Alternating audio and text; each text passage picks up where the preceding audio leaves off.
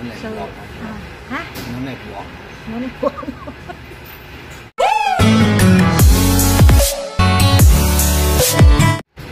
so, uh, ha? Ngunit po ako. Ngunit po ako. Marcello is taking cappuccino and he's telling me that it's not good. He doesn't like the cappuccino in McDonald's. it's for me. Coffee is coffee. In cappuccino, I always like cappuccino. That's why I, I don't lament. And this is our breakfast. Got already our breakfast in at house, at the house, in the house. and I ordered this. He doesn't like this croissant. So, one I will bring to my son and one for me.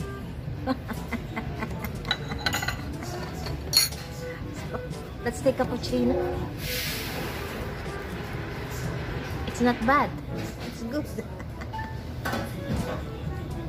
Every person has a taste.